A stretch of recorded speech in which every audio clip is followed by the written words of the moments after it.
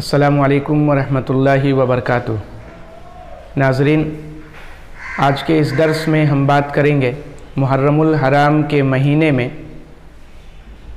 नौहा खानी और मातम करना कैसा है या उसकी हकीकत क्या है किताब व सुन्नत की रोशनी में। मुहर्रमुल हराम के महीने में वाक़ करबला या शहादत हुसैन इसका इनकार नहीं किया जा सकता। लेकिन इस महीने में शहादत हुसैन पर मातम करना, मरसिया खानी करना और नौहा करना, ये जायज़ और दुरुस्त नहीं। शरीयत इस्लामिया ने मातम और नौहा खानी को सिरे से नकारा है। और ये शरीयत का हिस्सा करार नहीं दिया गया है। बुखारी शरीफ किताबुल जनाइज़ की रिवायत है।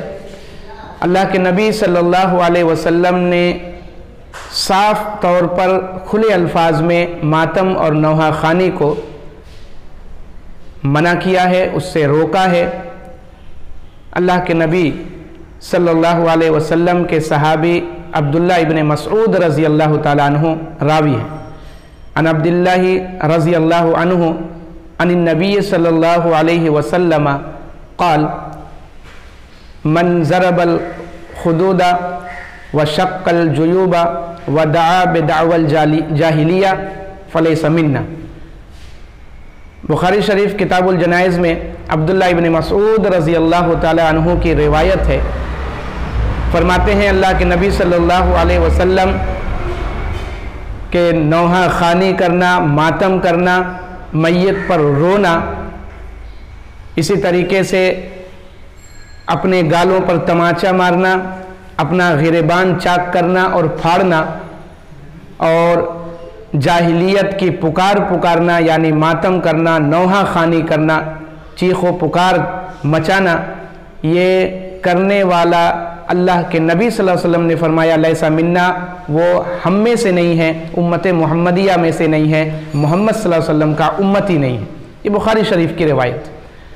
इसलिए हमें शहादत हुसैन, तारीख़ इस्लाम का एक सियाह पन्ना है, एक सियाह वाक़ है, और उससे तारीख़ इस्लाम को अलग नहीं किया जा सकता। लेकिन शरीयत के दायरे में रह कर के शहादत हुसैन की याद जो है, वो अपने दिलों में रखना और ालिमाना तौर पर नवास रसूल को जो कत्ल किया गया है, उस पर अफसोस का इजहार करना, ये आलम इस्लाम और तमाम ईमान वालों के ऊपर लाजिम और ज़रूरी है, लेकिन उसका तरीक़ा जो आज हमारे सामने राइज है इस्लामी माशरे में, इस्लामी घराने में ईमान वालों के दरमियान वो जायज़ और दुरुस्त नहीं है। ये अहल सुन्नत वल जमात का तरीक़ा नहीं है, बल्कि राफिजियत और शीयत का गलबा है हमारे ऊपर कि हम राफिजियों की तरह और शीयों की तरह मुहर्रम के इस अदब और अहतराम वाले महीने में नाजायज़ और गैर शरई आमाल को अंजाम देते हुए जनाब मोहम्मद रसूलुल्लाह सल्लल्लाहु अलैहि वसल्लम की इस हदीस का खुले तौर पर इनकार करते एक दूसरी रिवायत जिसको इमाम अहमद बिन हम्बल रहमहुल्ला ने मुस्नद अहमद के अंदर, मुस्नद अबी हुरैरा रज़ी अल्लाह तु के अंदर नकल फरमाया है। अबू हुरैरा रज़ी अल्लाह तु रावी हैं, फरमाते हैं अल्लाह के नबी सल्लल्लाहु अलैहि वसल्लम, अरबाउम मिन अमरिल जाहिलिया। लम यदनास चार काम जो है, वो जाहिलियत के कामों में से है। और लोग उसे हरगिज छोड़ना नहीं चाहते हैं, या लोग उसे हरगिज छोड़ते नहीं हैं। वो चार कामों में से पहला काम है, अन नियाहतु अलल मैत अल्लाह के नबी वसल्लम ने कहा मैत के ऊपर नौहा करना, मरसिया पढ़ना। मातम करना। शरीयत इस्लामिया ने इसको जाहिलियत के उमूर में से करार दिया है और ये कभी भी इस्लाम का हिस्सा नहीं हो सकता। इसी तरीके से मुहर्रमुल हराम के महीने में चाँद नज़र आया मुहर्रमुल हराम का और उसी दिन से बाजे, गाजे, ढोल, ताशे हमारे माशरे में गूंजने लगते हैं। और सड़कों और चौराहों पर लोग खड़े होकर के गाजे बाजे और ढोल ताशे के ज़रिया से इस पैगाम को आम करते हैं कि कहीं ना कहीं हम जनाब मोहम्मद रसूलुल्लाह सल्लल्लाहु अलैहि वसल्लम की शरीयत का अपने इन आमाल के ज़रिया से इनकार कर रहे हैं।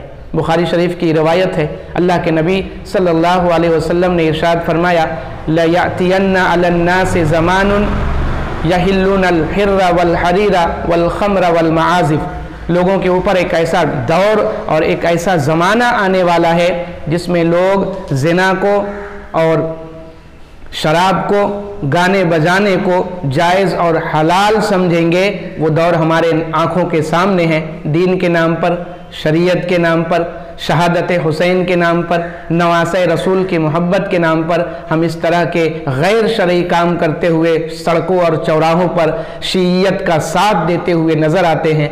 इससे हमें गुरेज करना चाहिए, बचना चाहिए और मुहर्रम हराम को उसी तरीके से मनाना चाहिए, जैसे जनाब मोहम्मद रसूलुल्लाह सल्लल्लाहु अलैहि वसल्लम, आपके सहाबा, ताबईन, तब ताबईन और आइमाए दीन ने मनाया है और उसको अदा किया है। अल्लाह हमें इस बात की तोफ़ी इनायत फरमा कि हमारा हर काम शर्य एतबार से सही और दुरुस्त हो और हमारा अमल जो है वो किताब सुन्नत के मुताबिक हो। आमीन वाखिर दावाना अनिलहमदिल्ला रब्बिल